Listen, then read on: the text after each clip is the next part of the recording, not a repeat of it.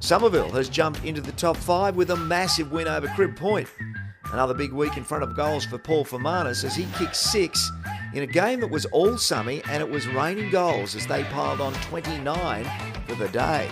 Ryan Gillis was also very impressive as he kicked five, whilst brother Nathan at the other end had the ball on a string all day. Skipper Zach DeCluver was brave for Cribby and was named their best.